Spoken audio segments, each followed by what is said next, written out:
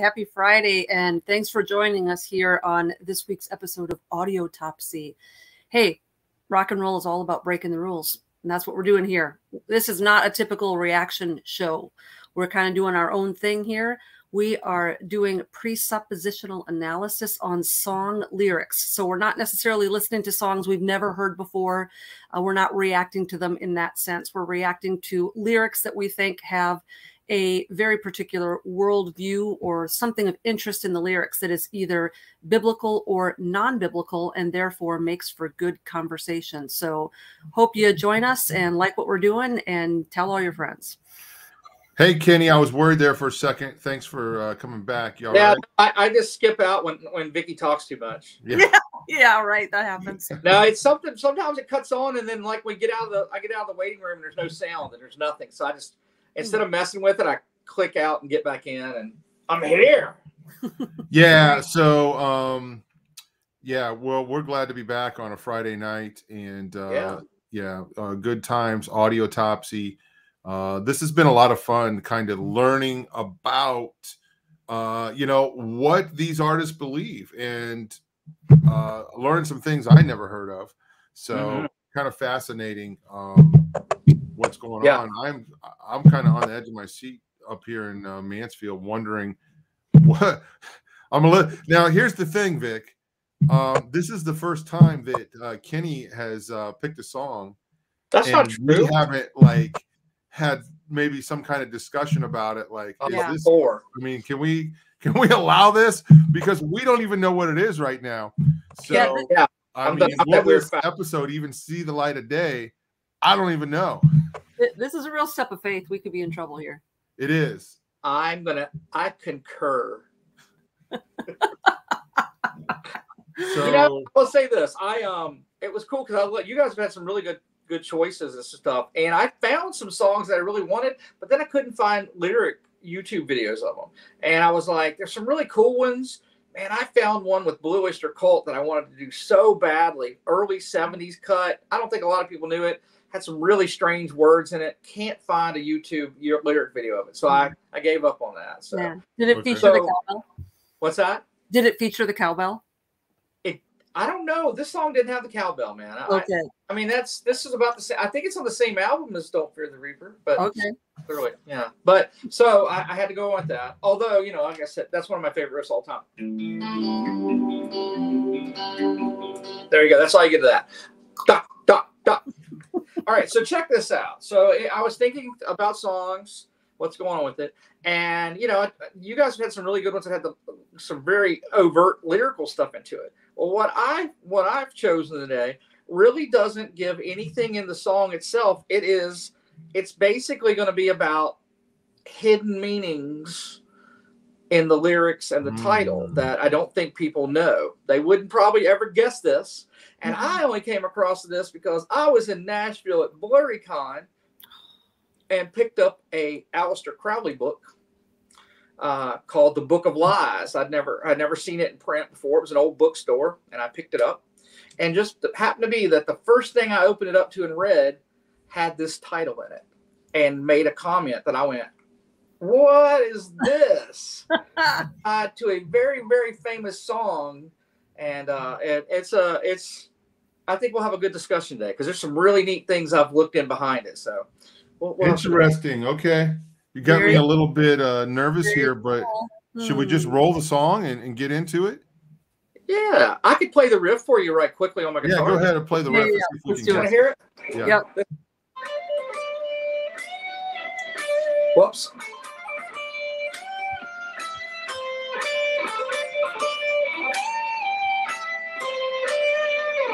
I definitely recognize it, but I cannot. Mm-hmm. I messed cannot, it up. I don't know what happened with that. Mm-hmm. I had a, mm-hmm. but yeah, okay. You'll know it when it comes in. Here we go.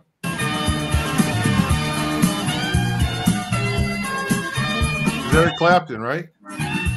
Well.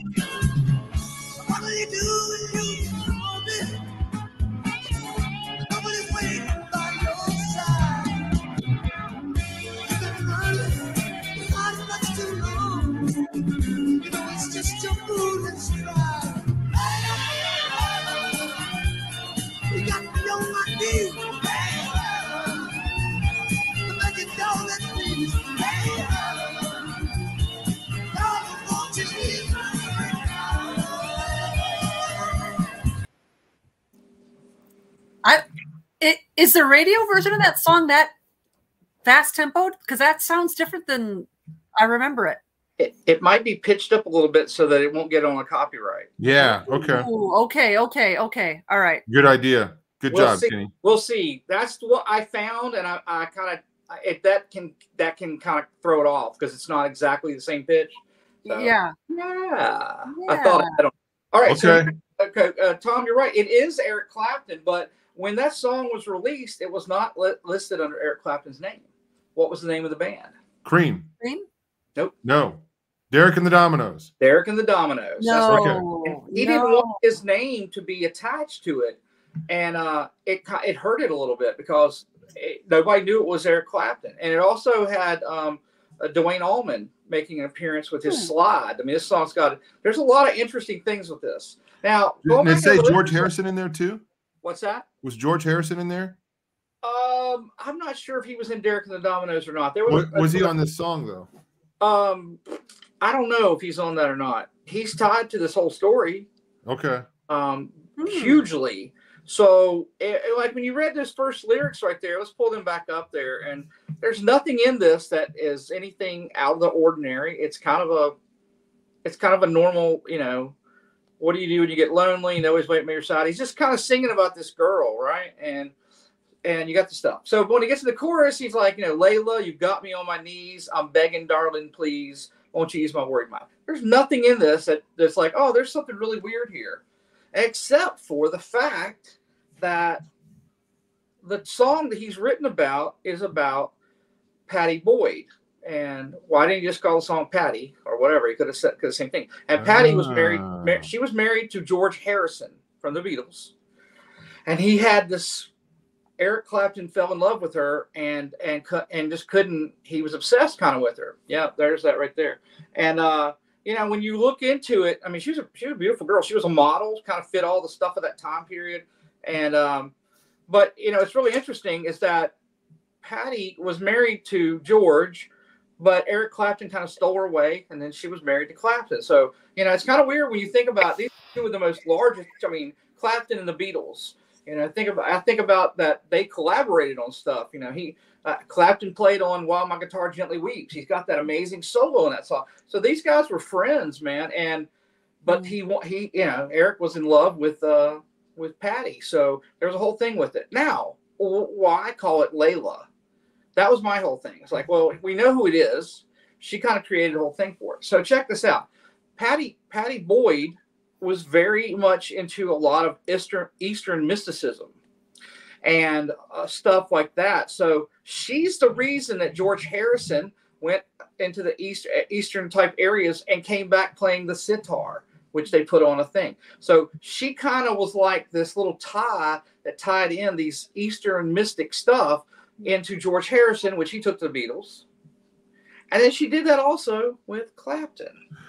So she, was this, she was this kind of like thing that between it. So here, here's the big thing, and I, and I may have sent this to Katie and stuff, but in the Aleister Crowley book that I, I, opened up in one page, it talks about there's a commentary where he talks about this poem, this love poem, and there it is right there.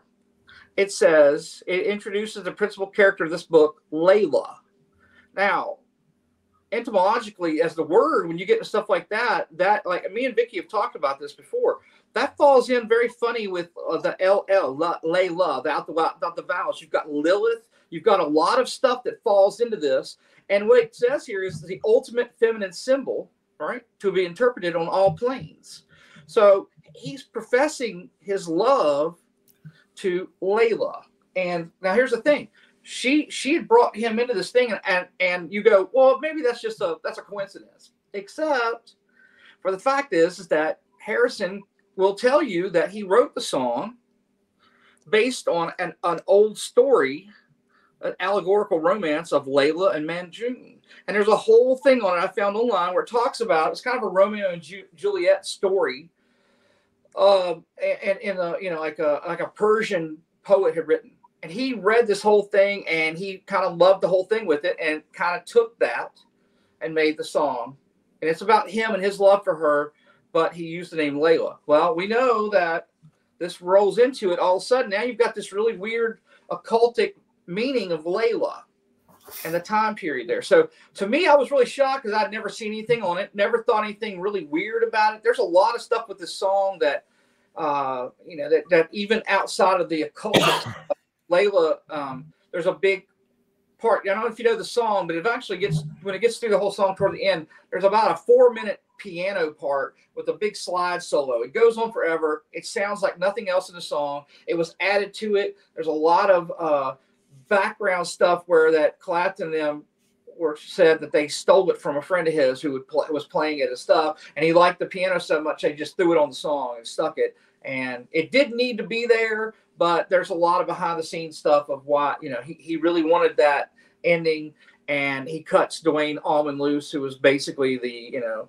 uh, the the lead slide player for the Allman Brothers, and he's doing some really interesting stuff on there. Some of the tones and frequencies are really unique and all this stuff. So, like I said, we get we go into the lyrics, you're going to read the lyrics and be like, I don't see anything. But when you start looking behind it, is he is he singing this song allegorically to about Pattie probably, but he's tied it into this Persian poet and a and an actual like a female a feminine entity, a, demon that Aleister Crowley um, had in his plethora of, of things he was thinking about. So so I thought Lilith, um, when you were when you mentioned when you put all this together, you know, yeah. and I thought, oh, maybe Lilith is the connection, and it's a um, it's a derivative or right. something taken from Layla, and yeah. it's almost it could be maybe even interchangeable. It that's what I feel with it etymologically with the word. I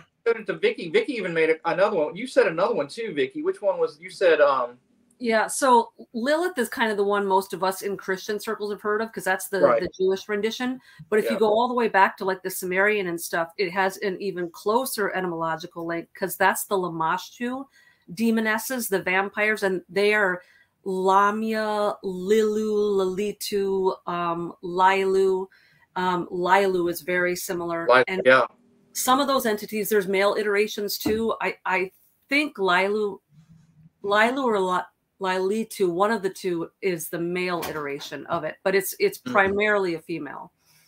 Well, that's all interchangeable now, anyways. It is, yeah, same thing. Then well, and now, have we changed anything? No, man, we're no.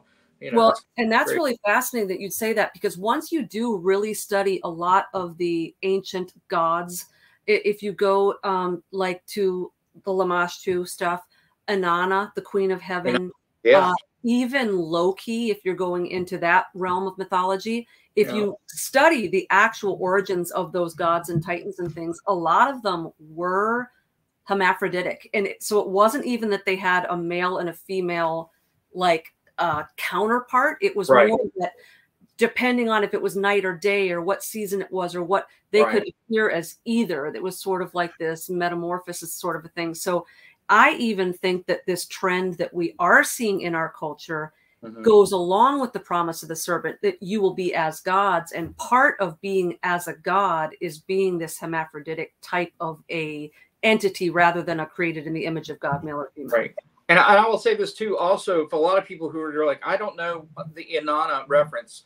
Um, go look up some stuff with uh, Sharon Gilbert, Derek Gilbert. They they did a lot of research. That's where I really started hearing it from and I read and I did I followed their research into the deities of demons and, and uh, demons in the Bible book, which is like you know this 800 page tome, um, and really started looking into that and was like blown away by it. Like it was like wow, this is something we don't hear a lot about. We hear a lot of now we're hearing a lot about the spirit of Inanna being in this this this time period we're in, and it makes a lot of sense. Yeah, really. absolutely. More familiar to most people uh, depending on what culture you're studying, Inanna is the same goddess as Aphrodite, yep. as Diana, as the Queen of Heaven, which there's references to the Queen of Heaven. Um, yep. In the Old Testament, that was the goddess that they were um, baking the, the, cakes to the Queen of Heaven, that sort of oh, thing. Yeah.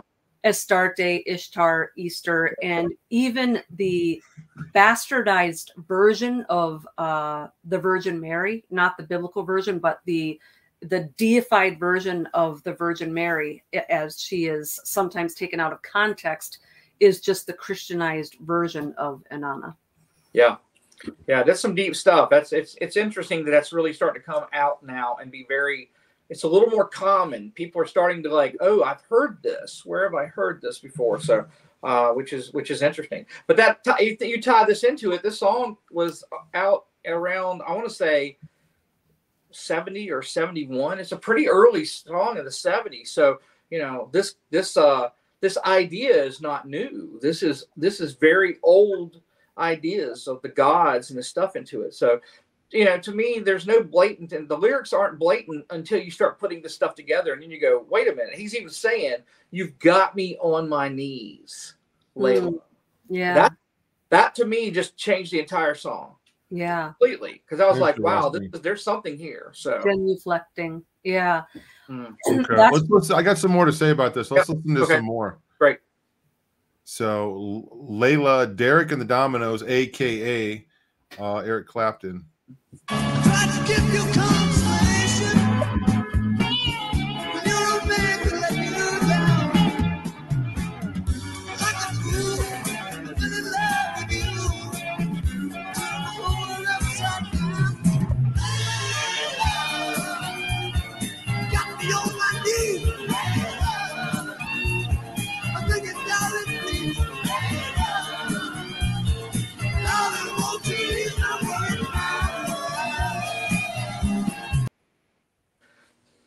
Well, so let me jump down a rabbit trail real quick. Yep. Okay. I feel it.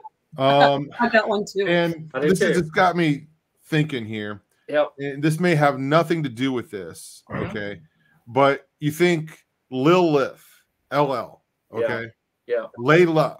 Okay. Yep. And then something else I'm thinking of are the Superman comics, and I always wondered why they said Lex Luthor. Lex Luthor. Lois, Lois Lane. Oh. okay, right. and then Lana Lane, which was yep. like LLs. Lois Lane's cousin. Wow. You know, you've got these LLs, right? Yep. So I don't know, but I always wondered, you know, well, why you, why they yeah. did that. I, maybe that has nothing to do with it, but um, I don't know. I'm wondering. If anybody, well, I mean, you know, take it consideration um, who, who is Taylor Superman would be the guy. On? Go ahead. Superman, you know, Superman's like based on this Christ figure. It's always and most people are pretty clear with that. I mean, some of the later movies here with with uh, Cavill and stuff like that, you're you're actually get some symbology in the movies where he's like in space in a cross, his feet, he's he's doing the whole thing, and you're like, it's it's they had to like make it more blatant. But back then, I think it was like, oh, we can we can do this, and you always thought about that. The LL is a really interesting thing. Most people would never catch that mm-hmm. until you've you know done a lot of research and start putting together that kind of word etymology that uh, you know. But yeah, you're completely right. There's probably that. a lot more in the comics. I don't know. Yeah, there's probably more more with that, and that, that really makes sense uh, a lot. So, um, Vicky, do you have something you want to say? Yeah. So, by way of the lyric that we just listened to, so if you go into um, the occult like trinities. And yeah. so if you go with uh the queen of heaven being you know the so if you've got father son and holy spirit in the in the christian tradition they've got in the egyptian it's the osiris semiramis uh horus. Right. And so um semiramis is also you know queen of heaven layla all this stuff and so, in the line where he said, Your old man let you down, if you actually know the story about Osiris and Semiramis and how Horus was born and that whole dysfunctional marriage going on, uh, technically, her old man did le- let her down. So, yep. I'm, it, it fit This could be like, I don't know if this was what he's doing or not, but what the occult does is they, they call them occult blinds, you know, like blinded and it's basically uh like a double entendre but it's only for the adepts so they've got right. layers of information so you can go back like just to use a, a silly example my brother and I used to watch Batman in the 1970s, you know, the Batman 66 series. And it was all and fights, and we yeah. loved it. I so love it when I was in my 30s, I went back like nostalgically to like watch it, and I could not believe how like the there was blatant, blatant. like sexual innuendo and homoerotic stuff in there. Like you don't pick it up when you're a kid, right? Yeah. And it's so that's what an occult blind is. they can flat out say this is a book about the occult and you can read it and you can walk away thinking like oh i just learned some secrets but there's all sorts of words in there that only an adept would understand.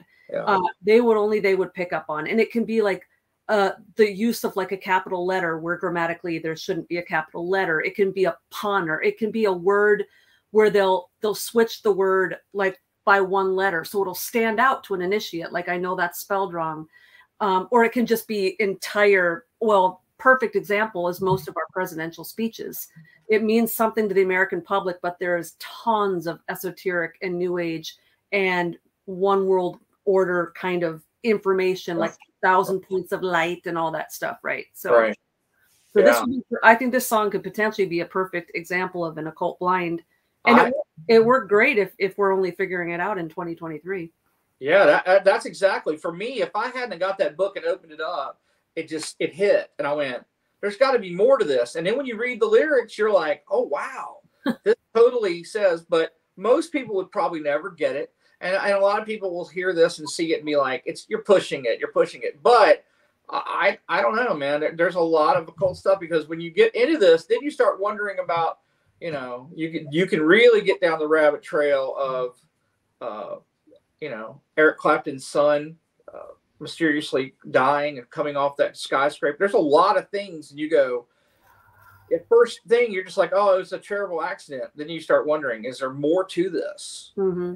And mm-hmm. That, that's well, and we were kind of touched on that in our show on. I'm getting my, all my days mixed up. Monday night, maybe the the Faustian bargain, and we know oh. now that a lot of people in Hollywood, and I know Clapton isn't American, but when you look at people that have managed to hold on to fame for right. decades and decades and decades, and their music is still relevant to four generations, there are people whose music is is relevant like that. You know, everyone's always going to listen to Beatles. They're always going to listen to Mozart. You know, I get that, but when I look at someone like Clapton, and I'm I know he's an extremely talented guitar player, and I right. love I love blues based rock, but he's yeah. never been on my playlist. Like he's yeah. never been intriguing to me. So this this guy's been around for a really really long time, and so it it just kind of makes you wonder. It, it's hard to stay on the charts for two weeks, much less forty years. So it just kind of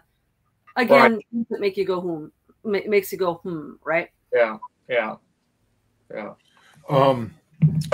Uh, he's been in the news recently, and I can't really get into it, but in the last couple years, just for uh, kind of voicing his opinion about a certain um, uh, after effect or you know a problem that he had with a certain medicine mm-hmm. medicine that he's taken, and yeah. he's they they've really tried to cancel him for that. So yeah, yeah, and you know when I hear that, uh, the, the same thing's been going on with Van Morrison too. There's been a whole yeah. lot of cancel culture on them for their viewpoints, but sometimes I feel like some of that may be like just to create a split, get them back into the limelight of being talked about. Because there's no, you know, he's not. It doesn't matter if it's bad or good. He's being talked about, and that brings his stuff back to things. And people go, "Oh, I haven't listened to Layla in a long time." And next thing you know, they're listening to Layla, and there could be hidden stuff with that. So, um, well, here we are listening yeah, to later. That's what I'm saying. That. Yeah, absolutely. I never, this would not have been a song that I thought, oh, we're going to talk about on Audiotopsy until you know I got back and went through that. Now I will say this also too that um, Layla, you know, it's it's it's definitely a it's a feminine name of Arabic origin, but it also it means night beauty. And when you read that for it, it, it, they said they use it for girls that were born at nightfall, but night beauty yeah, it kind of comes into different. Your there's your variation spellings on it, and um, but it also that ties in with with Lilith and her and and like what her uh the meaning of her name. So to me, it's like these names are interchangeable completely, and um, this makes me think of "Witchy Woman" by the Eagles. Uh, oh, yeah, and just talking about um, uh, you know their infatuation, you know, with this woman or right, um, right, which a woman see how high she flies. So, mm, yeah, um, interesting. Um, no, very interesting. And again, Kenny, one of the first things you said is, why not have the name the, the the name of the song? And I realize there's artistic license, and you know, uh, "Hey Jude." The original uh, lyric was "Hey Jules." Yeah. And uh. John Lennon actually changed it. Uh, Jules was his son, Julian Lennon. That's what they called him, Jules. Mm-hmm. And they decided to change it to Hey Jude, right? Yeah. Um, you know, I, I realize artists can do that, but why why not have something closer, you know? Um, and this had to, for some reason, uh, be on the tip of his, uh, you know, tongue or in the forefront of his mind at the mm-hmm. time. Mm-hmm and right. he decided to put it in there. That's what I think. Mm-hmm. And I'm curious to know what the listeners think well, about this song so and also, about Eric Clapton and you know uh, the George Harrison and uh, Pattie Boyd and what they were involved with. And well, uh, the listeners have a lot of insight to these things. You think about the fact that Pattie Boyd was, uh, I mean, Eric Clapton's, you know, he's, he basically tells you, he wrote it about, you know, Layla's about her. But George Harrison's uh, something something the way she moves that's also about her. Hmm. so they've got there's all these songs that are really pushed out to it you know for this this love triangle that they have so. You know it's kind of interesting how um there are in, in some situations certain women that have inspired songs by different artists. Mm-hmm. okay like for example um oh what's the girl i can't remember her name but she inspired um uh, Peter Gabriel and Toto. Hmm. Uh, I want to say. Oh, was it Rosanna Arquette? Rosanna Arquette, yeah. mm-hmm. And yeah. she also um, inspired "In Your Eyes" by Peter Gabriel. Wow. Wow. Crazy. Yeah. Wow. You know, yeah. another possibility. I'm thinking of, you know, some of the psalmists. King David, he wrote psalms like I think it's Psalm 22, and he's talking about himself and he's talking about his own pain and a situation he's going through. But then x number of years later it perfectly fulfills things that happened on the cross. And it was like jesus was like a fulfillment of that psalm. And the psalm was almost prophetic but i don't necessarily know that david under the inspiration of the holy spirit recognized that that song had a meaning beyond his own situation. And so with a lot of these uh, artists a lot of them will talk about their muse or their inspiration or they'll they'll flat out talk about uh, astral projecting and getting ideas from some sort of a spirit guide tom i just sent you something the other day was it jack white of the white yeah, i saw that one yeah, yeah he was talking that. flat out about how there's a point where once it goes out it's not even your, your song, song yeah. anymore and and sometimes you don't even know where it's coming from I missed and, that yeah I'll, have to, okay. I'll go back and look it up It's so good. I think that in in one sense, these guys might just be dupes. You know, they might just be taking this as dictation and thinking, "Oh, this fits perfectly with my girlfriend or with this girl I liked or with my wife or my situation," and they might not even, in every case, know that they're telling some other greater story there. They might mm-hmm. just be so dupes in it. You hear artists talk about this and they kind of explain it. Sometimes they'll use the word magic, and I don't think they mean magic, but in a way they do, in a way they don't. But there's it's they're just using it to describe something they don't understand in a lot of cases. Some of them are definitely talking about magic, magic with a K. Mm-hmm. Okay. Um, I've said this before. I believe art, you know, and creative thought comes from three different places. Okay, it can be inspired by God, by reading God's word, by praying, by the Spirit of God inspiring you. Uh, you anybody that's a Christian can write a song, you know, that's inspired by God and what God means to them and worship to God. Then there's the dark side where if you turn yourself over or if you don't have any protection, you can be inspired by the dark by the dark side. We call it uh, Dake of demons, right? Uh, Timothy talks about this doctrines of demons. So, and then I believe we as humans can have feelings and emotions, and we can be creative as well.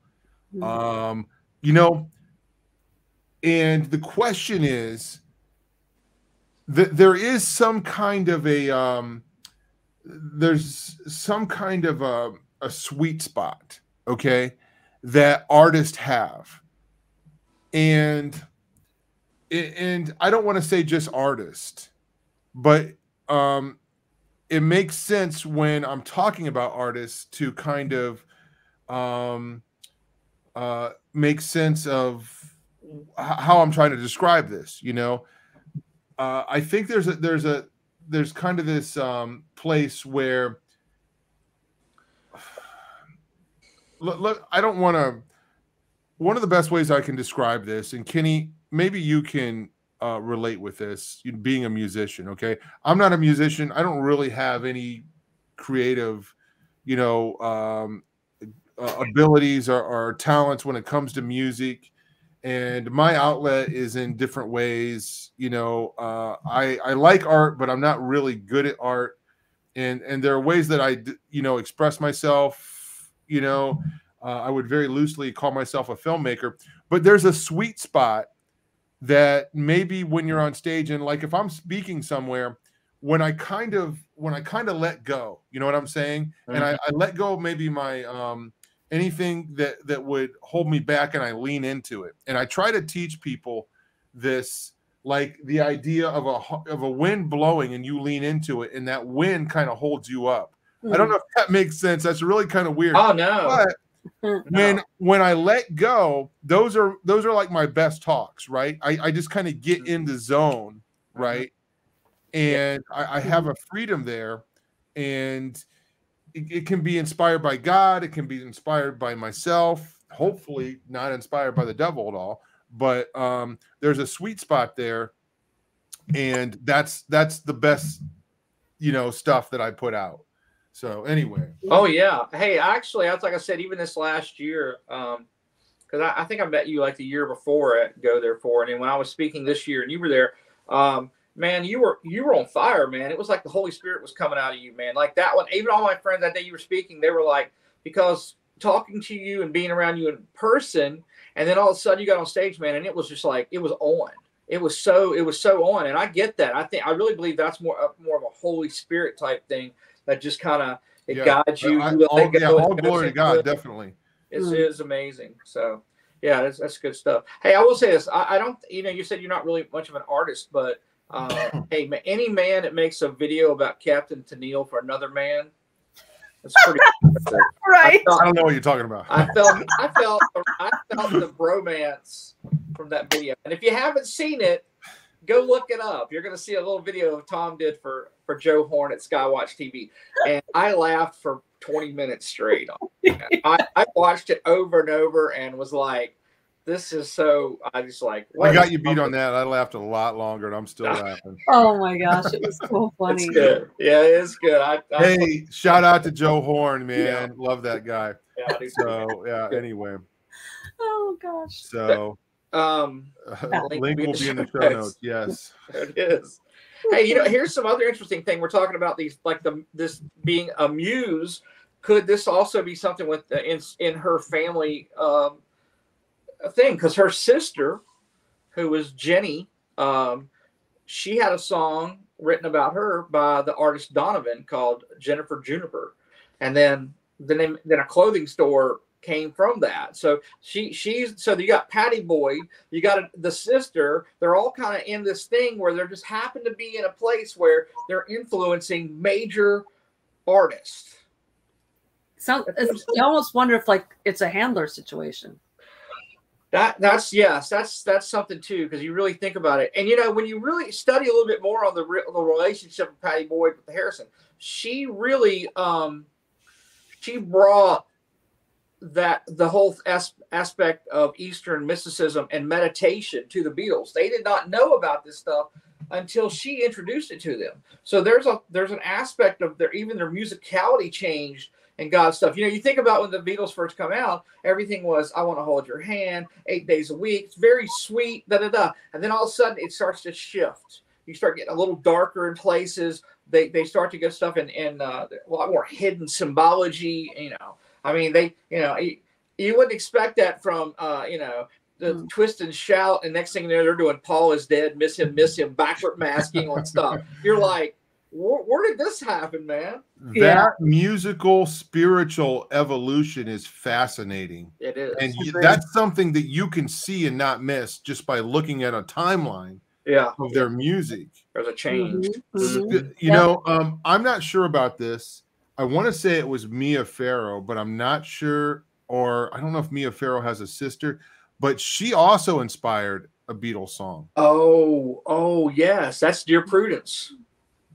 Is it? That's it. It is. It's Dear. It's Dear Prudence. I think it is. I'm pretty sure Prudence. Yeah, yeah, it is. Yeah. So yeah. Anyway, Isn't that um.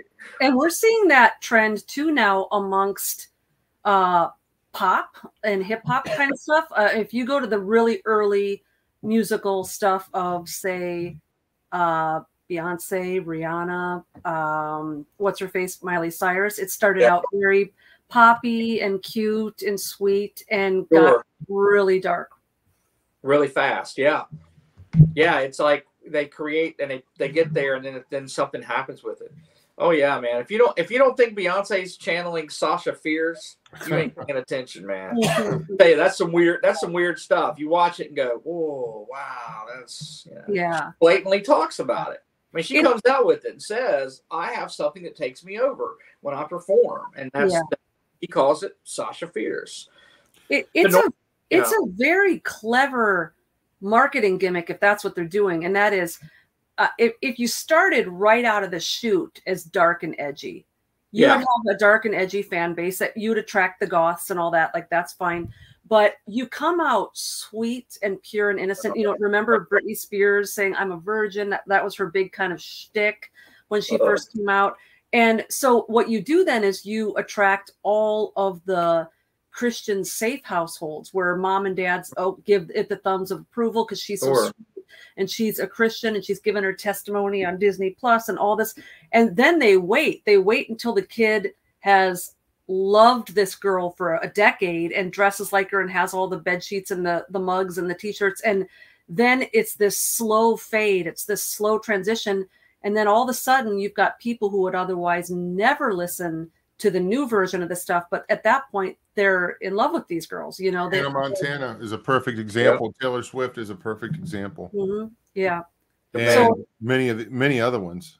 So now all of a sudden you got a whole bunch of really sweet, pure Christian girls who were raised in Christian homes and are going to be a virgin when they're married, and now their influences are Lady Gaga and Rihanna and people Right. that never would have been let in into their into their houses if they had started that way out. out Yeah. Hey, that's even like the Jonas Brothers, man. When they were all first off, they had like purity rings and they were doing the whole thing. And you know, parents were like, This is great, these are clean cut. And then you watch that shift from them past whatever the Disney Camp Rock and Demi Lovato, and you see how far they've gone. Demi Lovato has just went all Yeah, over the place, man. She's in went non-binary, da da da da. She's doing shows on one of the streaming channels where she's like they're trying to contact extraterrestrials and they're out doing st- it's some Mhm.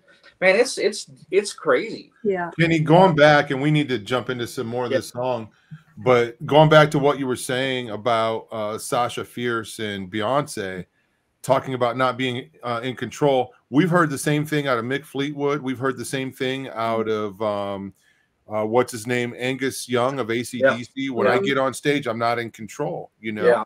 Yeah. And Nicki Minaj. I believe that in some cases there is a um, there's a place, a, a creative spot that we can go. I don't know. I don't know how I want to word this. I, I, I um, it- all I know is what I've experienced and what I try to um, what I try to teach other people. You know what I'm saying? Sure. When other people are um, uh, new at speaking, you know what I'm saying? I kind of, I just kind of explain the way that I explained before. There, there's a there's a sweet spot there, and um, it's uh, it's kind of like getting over your fear. You know what I'm saying? And I'll tell you this: I've seen it happen with new preachers, right? Where I'll see them up there stiff as a board, and they're just really struggling to get it out and then they can see the end of their talk and then they really loosen up and then that's the best part because their anxiety is going away they know that it's almost over and it's you know they're able to um, just uh, uh, be more themselves so to speak hmm So um, the pressure is off. So anyway, I, I, don't know if that makes any sense. I don't want to. Uh, I don't want what I'm saying to be a stumbling block or to confuse people, and I'm afraid. Sure. Uh oh. Uh oh. Now we get to talk. Tom's been canceled. you know what? It was probably somebody that's mad about him talking about Taylor Swift. That's almost probably he was he was uh, downgrading uh, because, because he was one of the original Swifties. He, and, I think he still is. I, I think. Well, and that's what I'm saying. For him to even mention Taylor Swift with this stuff, uh, probably cause problems. I so, think we might not see him again. Sorry, Tom. oh man, no, I I know what he's saying, and, and to pick up kind of where he left off because yeah.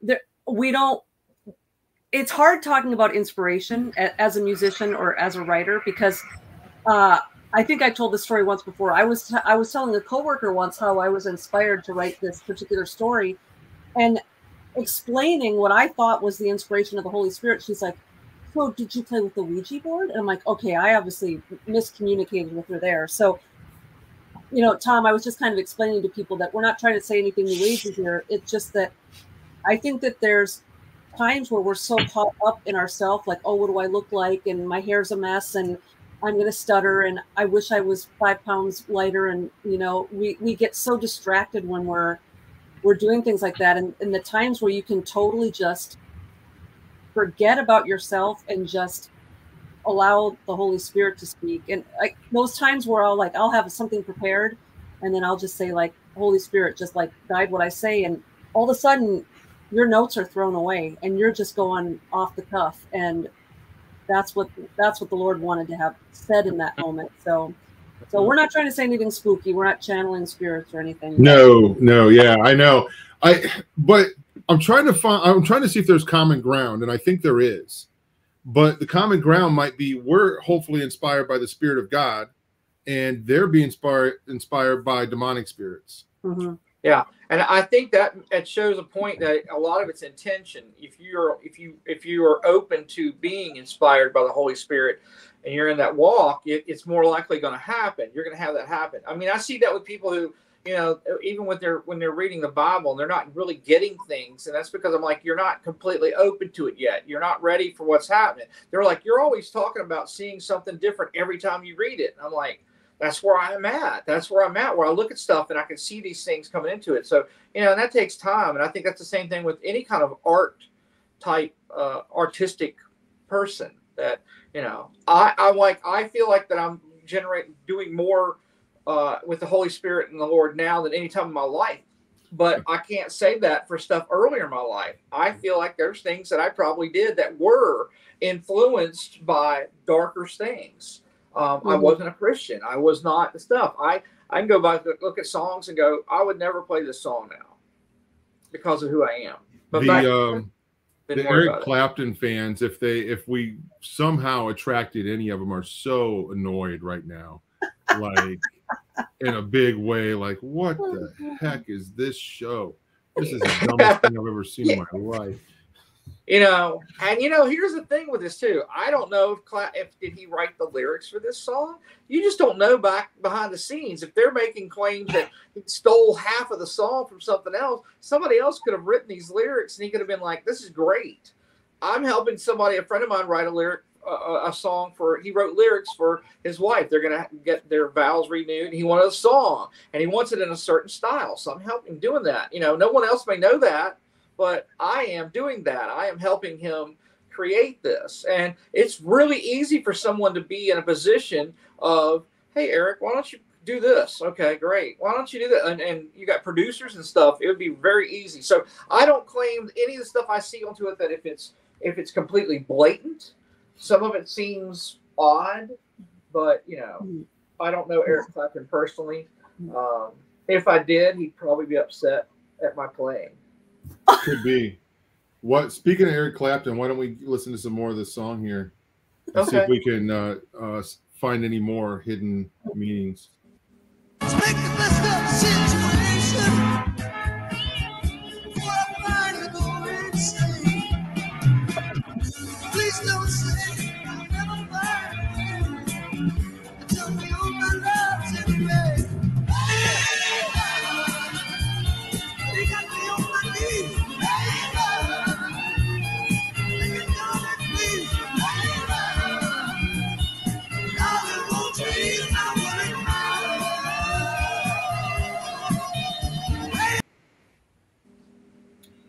Darling, won't you ease my worried mind? Hmm. Um, you know, I mean, that could be um interpreted as a prayer, you know. Hmm. Mm-hmm.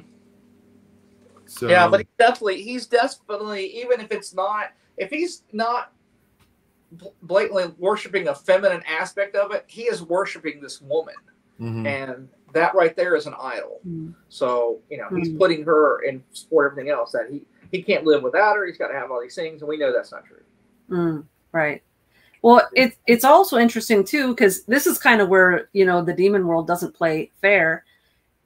It doesn't matter what Eric Clapton thinks it means. It doesn't matter what we think it means. If this is some sort of actual entity, according to Aleister Crowley, right. and we run around all day going Layla got yeah. me. I mean, we are in a sense um, offering that um, worship to her. I mean, we're saying out her name.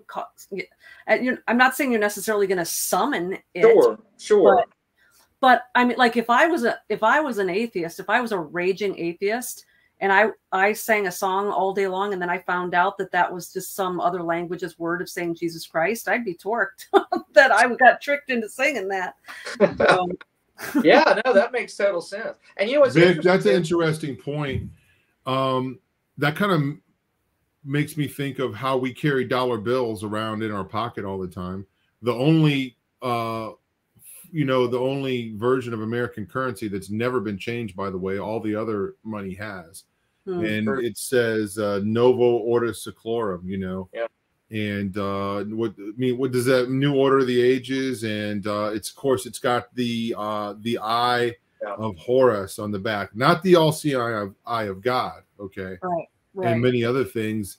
And it's like carrying a, a, a I don't want to be too dramatic, but I mean it's like carrying a, a ritual around in your pocket, right? It's like um, th- yeah. there's a lot of meaning to that. So we're not going to go into it tonight, but uh, I think that's a good point of people going around saying this stuff. You know, um, uh, another example we've talked about on the show before another one bites the dust okay? What does that mean? What is that song about? Hmm. well you can't i don't think you can deny the backward masking what it says. You can hear marijuana pretty uh pretty plain right? Yeah. So yeah. and if you're saying that all the time you know innocently or, or uh, singing along on the radio sure. uh, and yeah whether the band knew it or not, I don't think I think they claim not to know it. I don't know how you could know it.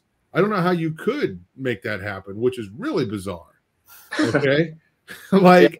they're just writing a song, you know, and uh, you know, are they demonically inspired? I don't know. That's um, I don't think they created that phrase.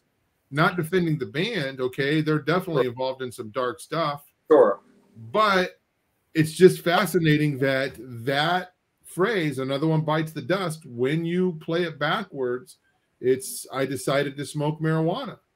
Hmm. And um, and the claim is that a lot of people listening to that song over and over, you know, a very popular song, had that thought in their head um, of you know of smoking that drug. Hmm. But we know we know that the sub- subliminal messages and stuff work. We've seen scientific evidence that shows when they would try things, put clips in movies that people were so fast they couldn't recognize, but their brain did.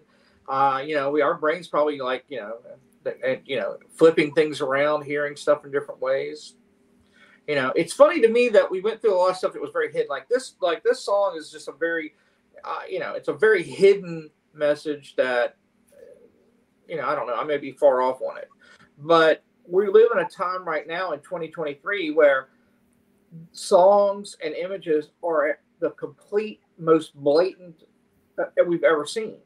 They're mm-hmm. all, I mean, satanic, occult, all these things are, I mean, there's lyrics. And so it's amazing to me that we're in a time period where songs are the poppiest stuff I've ever heard with the most insane satanic lyrics ever. And kids bring in stuff all the time, and I'll and I'll hear it. I'll go, let's ask your mom and them, and I'll let them see the lyrics, and they'll say, "Oh no." I'm like, I figured you probably wouldn't want that, but I wanted to make sure you saw it, so mm-hmm. that you know, because kids, you know, just so they understand. And it's uh, that's like the band, uh, the band Ghost. musically, man, they're an amazing musical band. Their stuff is very catchy and poppy, but every song is blatant satanic stuff, and some of it's just obscene. Mm. It really is. So you know, and, and they're they're massive right now. I just saw where uh, Def Leppard, Joe Elliott, and them did a remix of a Ghost song with Ghost. I saw that. Yeah, I was kind of surprised. That's kind of an interesting yeah. collab. Yeah. Crazy. So, we got any more? Of well, we got any more clips? I I think that's all the lyrics. Okay. I think the rest of it's all just you know jammy solos and stuff and all that. So who knows what kind of uh you know uh, frequencies notes that they were trying to pull forward. Duane Allman. You got to think about that. Duane Allman died not too long after this too. Okay, I didn't know that. He did. He got hit by a peach truck. Oh, that's why, really? Allman, that's why the Allman Brothers' next album was called "Eat a Peach."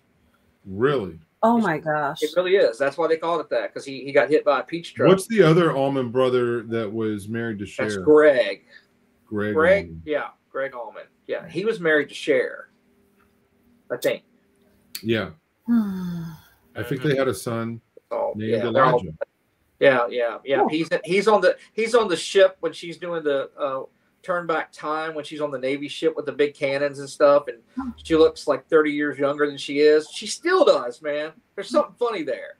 Yeah, Cher, should be 78 years old and look like she's 40. That's, that's something's going on there, man. Hey, was there? Yeah, was there anything else, Katie? I didn't know. She brought up the uh, the video again, so I didn't know if there was anything else to listen to, but uh,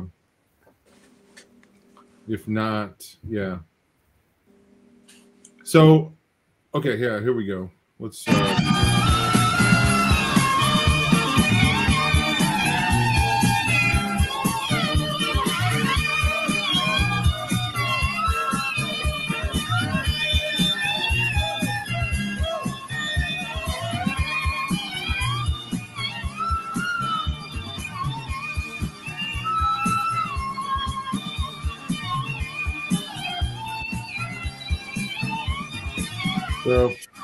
Pretty much, yeah. Now, I will I will say this in my research of frequencies and sounds that Gregg, I mean Duane Allman there playing some slide stuff is doing notes that we don't normally hear in in Western music.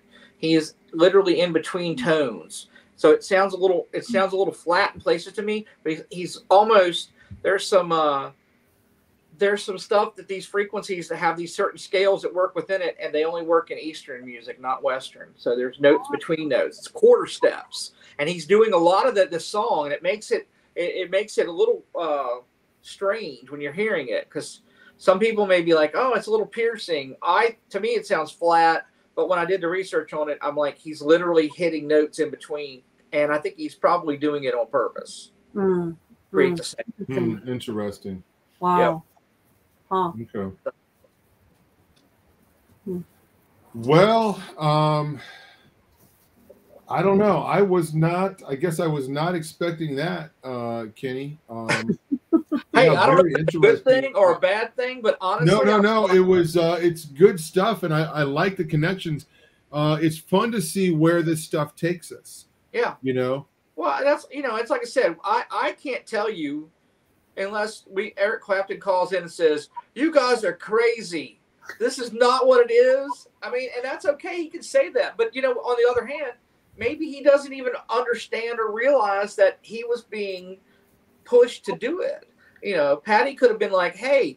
Read this story. Oh my gosh, this is a great story. Don't you like that name, Layla? Yeah, that'd be great. Why don't you do a song with it? You just don't know how that works because it, you know, yeah, it's a lot and sometimes when you watch these documentaries or read some of these stories, you'll have five different versions from the band about how these things came yep. about, and nobody can agree on anything.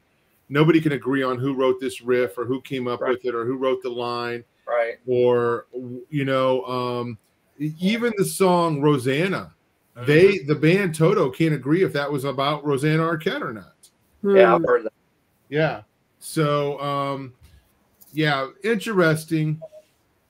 Um, Eric Clapton, uh, under the name Derek and the Dominos. Do you have any more information about you know what, why he didn't want that under his name? You know what? You got to think about in this time period, he had already had uh, his own, you know, solo stuff. But Cream was massive. I mean, this is the time period when people were spray painting Clapton as God everywhere in, in England and stuff. They they they worshipped his guitar playing, man. Hmm. They put him on a mantle. And uh, not to take away from Eric Clapton, but I never understood it. I think he's a decent guitar player. I'll leave it at that. I'm just saying. I I didn't get it when I was a kid. I was like, I'd see all these things. I'd be like, really? Well, you know, come on, man. This, you know, but but that's I didn't grow up in it. It wasn't released to me. So I think I think if I'd grown up at the time and listened to these songs when they came out in context, I probably would have been a much bigger Eric Clapton mm. fan. Hmm. But you know. I, I have one exception because I've never been a big fan either. I, I do love the Crossroads riff from Cream. Yeah. Oh, yeah. But uh, he has an obscure album called Me and Mr. Johnson.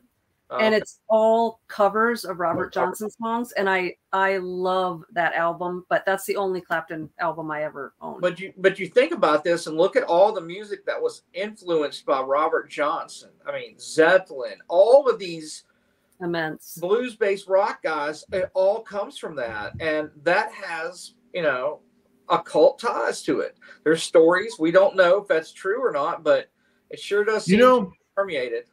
And to be fair, not again, not defending any of these bands, but they were also influenced by Blind Willie Johnson, sure, who was a Christian. Sure. Sister Rosetta, I can't remember what her last name is. Tharpe. Oh, right.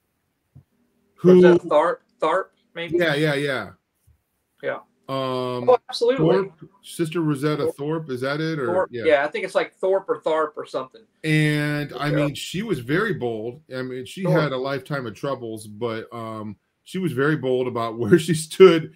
You know, uh, right. with the gospel, and man, she was something else, man. I mean, yeah. she was. She got up there with a guitar and just did some stuff, man. Uh, uh, I'm fascinated by her. But yeah, how? But how many people really know about her? Yeah. I mean, she's so obscure that unless you were like a true blues person and knew these things, you most people would never they don't they've never heard of her. They would well, and Elvis uh inspired by gospel music, obviously. Oh yeah, mm-hmm. absolutely. Mm-hmm. Yep. When you well, go to the Rock and Roll Hall of Fame, and I've been there years ago, I, I don't know if it's still like this, but they have a they have like an introduction video, and they tell you where rock and roll came from, and they say came from gospel music. Mm-hmm. Yeah, I was just there recently, and uh, they did. They had all that stuff. It's pretty yeah. great. Yeah. Hey, that when I, will tell you my story. When I was in the Rock and Roll Hall of Fame, at, uh, when I was getting ready to come back from my treatments at ECP, um, I came across a thing that was like you can induct a band into it, and who had never but was eligible. And I wrote Stryper, and it came back and told me on the thing. It said they are eligible, so I nominated them. And as soon as I did that, I started getting very ill and I had oh, to leave that. I thought you were gonna say an alarm went off. And they... No, it did. the guy that was with me, man, I literally was like, I'm a security came out and punched you in the stomach. That's it, man. dude, drop, drop the Stryper, dude. Oh. oh man, that's funny. Give him props. Give him props. Yeah. yeah. Well, and interestingly, and again, this kind of ties in with Monday's show and things we've talked about before with the whole selling your soul to the devil at the crossroads thing uh, robert johnson who did inspire a lot of modern uh, guitar playing was one of the original 27 club deaths oh yeah. right, right. 1930s yep.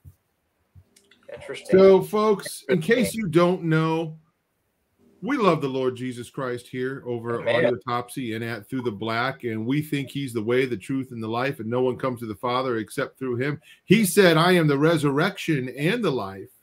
Okay, he who believes in me shall live, and that's the message that we want to share uh, here uh, on our uh, humble little YouTube channel, and also at our conference coming up, Out of the Darkness. Hey, that's just in a few. That's just a few weeks away. All of us are going to be there it's going to be a great time. I the schedule will be available on Monday. Everybody's asking, is there a schedule? Is there a schedule? Yes, and mm-hmm. it'll be available on Monday. You'll also be able to buy streaming, uh, get access to that on Monday. So uh, stay tuned. We'll be letting you guys know about all that stuff. But if you go to throughtheblack.com, you can get uh, uh, tickets for the conference uh, March 31st, April 1st and uh, we are yeah uh, we are expecting a great time. I tell you what, as I've been working on the schedule the last few days, I'm just getting more and more excited about this, and I'm mm-hmm. talking to the people that are putting together their presentations, and I'm like, oh, this is going to be so cool. I mean, um, there, there's some cool things that are happening that I think um, uh, we we we really just don't know how it's all going to play out until we get there. But we are set up for an amazing conference and a very unique conference too through the black, uh, the way that only through the black could do it. Okay.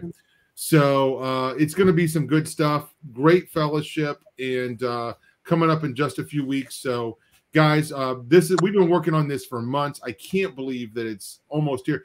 What is it been? A full five or six months that we had this planned out. We're going to do this, I think. Wow. So, and, and we made the announcement maybe in November. I can't yep, remember. You did. Mm-hmm. So, uh, yeah, here we are, finally here, and yeah, it's going to be great. But um, Kenny, I'll be able to um, uh, look look at you face to face again, give you a hug, my brother. Man, absolutely. And, um, we had a good time when I was li- living up there for a while. Yeah, yeah. So. uh it's gonna be uh, it's gonna be great times. But uh, guys, uh, tomorrow night, uh, Pastor Sean Carter is uh, gonna be back. He's gonna be talking about esoteric uh, Christianity. Uh, everybody loves Pastor Sean and his shows, so make sure you uh, you check that out. Vicki Joy and I will be back on Monday night, but uh, hey, we'll see you then, and we'll be back again next week with Audiotopsy. God bless you guys.